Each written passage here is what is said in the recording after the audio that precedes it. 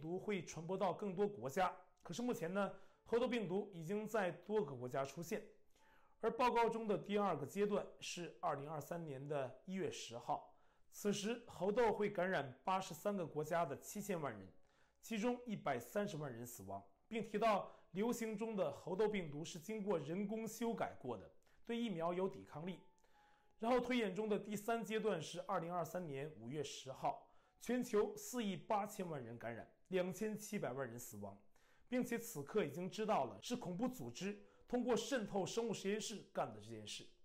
最后一个阶段是二零二三年的十二月一号，全球三十二亿人感染，两亿七千万人死亡。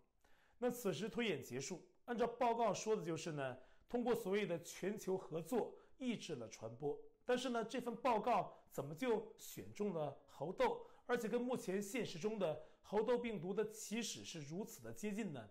是五月份在英国啊，都像极了报告中所说的。那写这个报告的机构 NTI，其名称是 Nuclear Threat Initiative 的首字母缩写啊。顾名思义，这个机构啊主要关注核武器对人类的威胁，但是同时它也在关注生武器的威胁。而且这家机构里面的人啊，不是什么虾兵蟹将，而是有很多呀专业人士的参与。所以这份 NTI 的报告给本次猴痘病毒的扩散已经蒙上了一点阴谋论的色彩。那至于是不是真的阴谋，那本次猴痘病毒的后续发展呢，会给我们答案。二零二一年上映的电影《零》。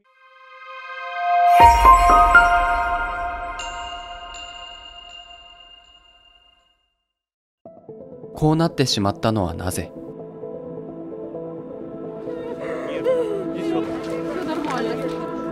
私たちを騙すのは誰？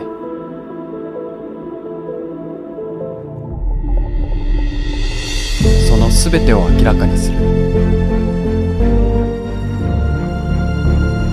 大紀元エポックタイムズジャパン